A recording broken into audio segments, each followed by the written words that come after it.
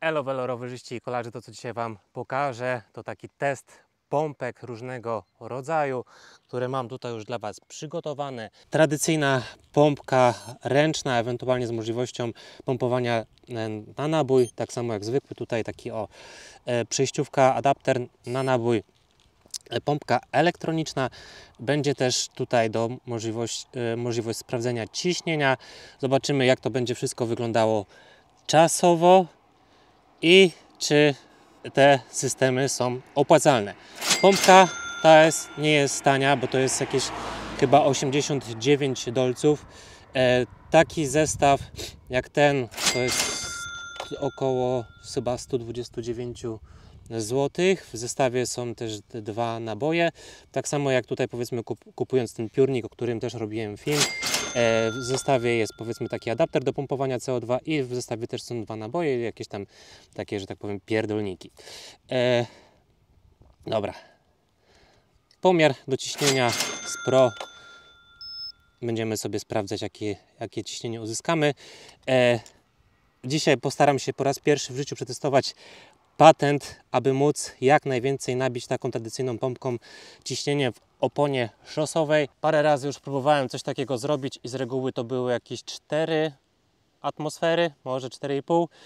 A z tego co słyszałem, jakimś takim magicznym sposobem można zrobić, że się napompuje nawet i 6. Więc zobaczymy, sprawdzimy, czy faktycznie się da i ile czasu to wszystko zajmie.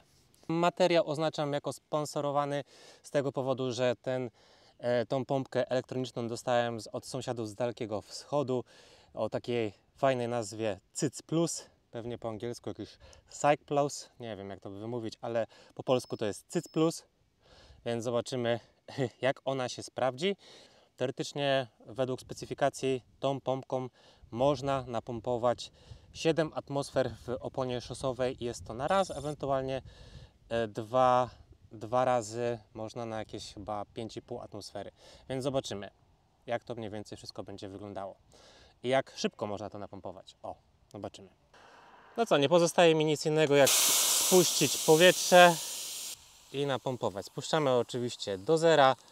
E, Na pierwszy rzut leci tradycyjna pompka i zobaczymy jak to będzie wyglądało czasowo. Generalnie z takimi pompkami jest ten motyw, że one e, w teorii mogą napompować nawet 8 atmosfer, e, tylko że raczej nie jest w stanie nam ręka wytrzymać i zobaczymy jak będzie dzisiaj. Zaraz sobie odpalę stoper i będziemy wiedzieli jak to mniej więcej wszystko będzie wyglądało. E, gdzie będzie stoper? Chyba w zegarku, nie? E, ze, ze, ze, zegar. Stoper. E, przygotuję sobie. Ja to sobie robiłem jakoś tak sprytnie. Trzy, cztery.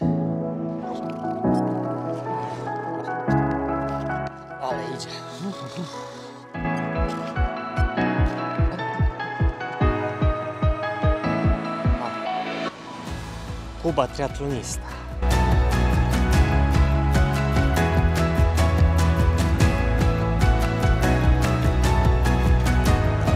Zrobimy małą pauzę. Zobaczymy. Minuta 24. Minuta 24. Raczej ciśnienie jest małe, zaraz zobaczymy. Uła! Dopiero półtora bara. Półtora bara na półtora minuty. Idzie to. Idzie to przemasakrycznie. Lecimy dalej z tematem.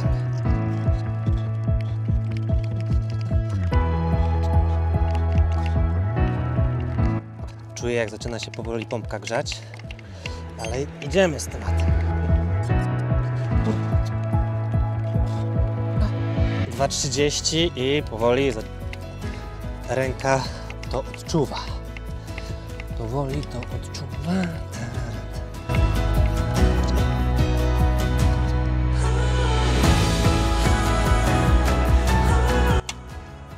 Trzy minuty i prawie trzy atmosfery. Lecimy dalej. Czyli wychodzi jeden bar na minutę.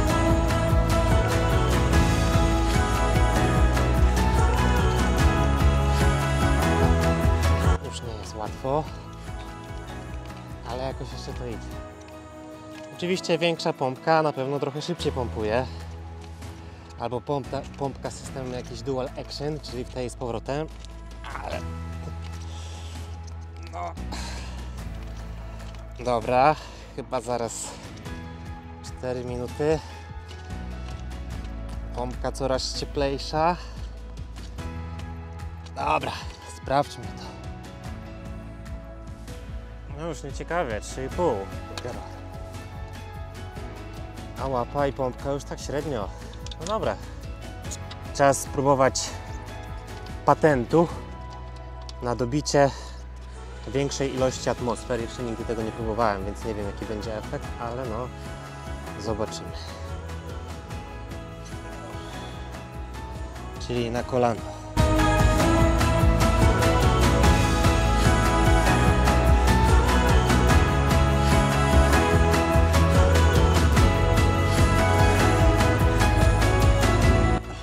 Jeszcze jakoś to idzie.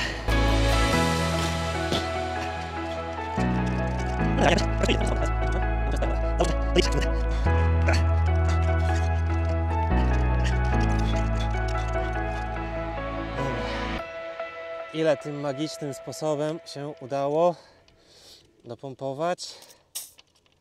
Wydaje się w miarę twardy. Tak na oko bym strzelał, że może tą piątkę się wbiło.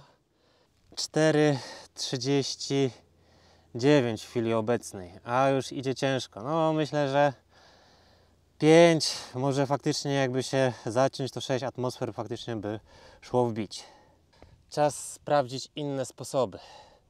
4 atpo- atmosfery, jakieś e, 6 minut, trzeba liczyć, dobra. Teraz sposób na leniwca, czyli tak. Tutaj sobie zamykam, tak, jest zamknięte, jest. Montuję sobie nabój. O. Nie odpalam stopera, bo to nie ma najmniejszego sensu. Tu mam nabój 16, czyli ten nie największy, bo największy to jest 25. Teraz robimy tak, że odkręcamy sobie to. Pyk.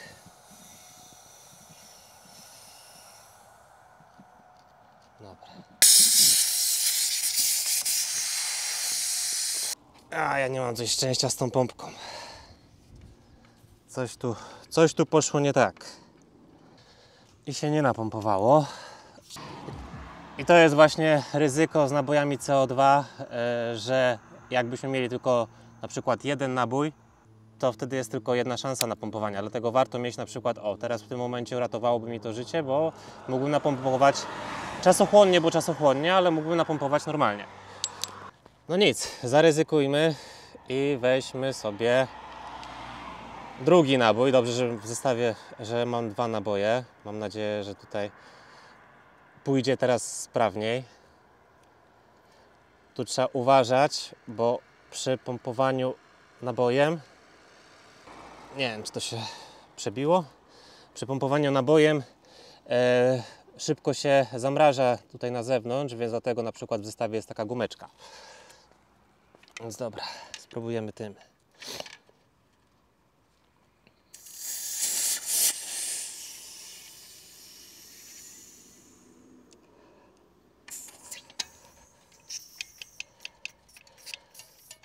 Tym razem poszło sprawnie i zobaczymy jakie będzie ciśnienie.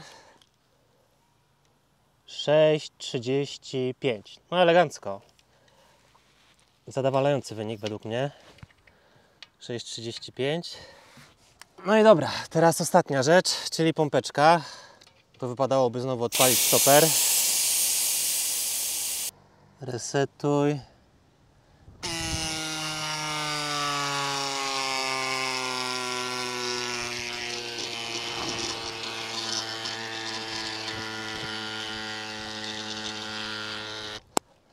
Dobra, minęła minuta. Zobaczymy. E, Zobaczymy ile, ile atmosfer.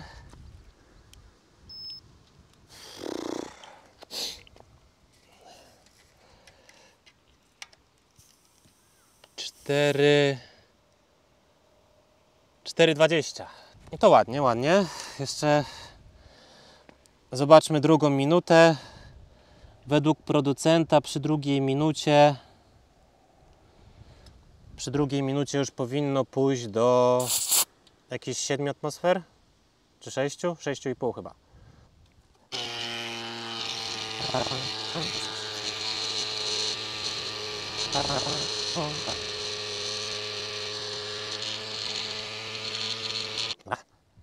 Dwie minuty. Dwie minuty 5,70. 5,70. Dobry wynik. Podpompować jeszcze? Zobaczyć, czy zdechnie? Żebym też nie przesadził z ciśnieniem, no ale dobra.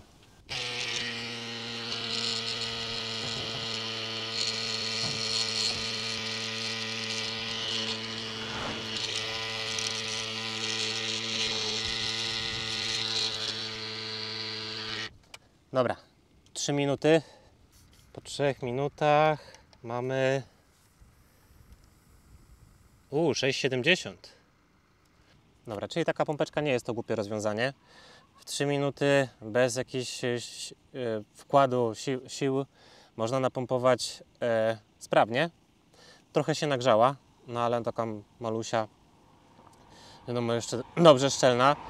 E, wymiary nie są wielkie, jakby porównać, to są takie same wymiary jak do kamery DJI, którą trzymam w ręce, więc fajnie można sobie sprytnie schować nawet w jakimś takim o czy, czy piórniczku, czy, czy w kieszeni z tyłu, więc, więc spoko.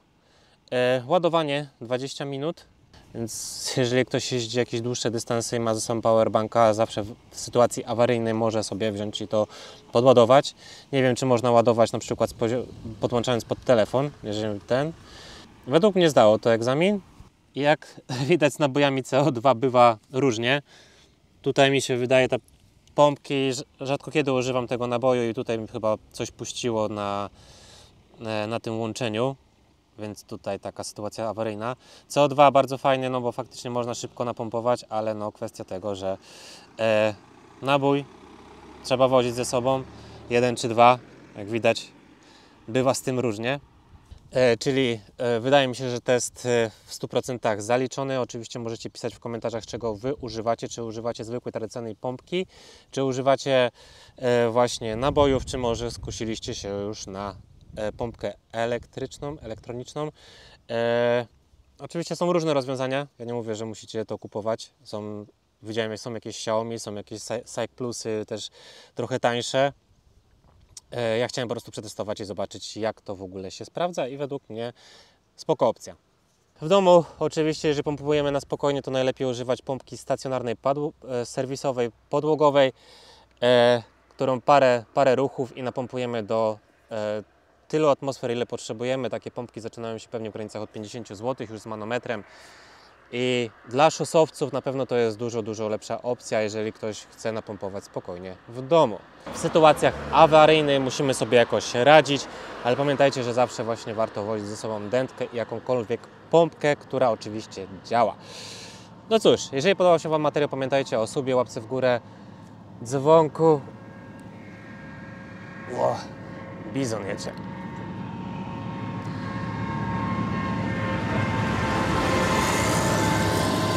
Do zobaczenia w następnym odcinku. Trzymajcie się, piąteczka.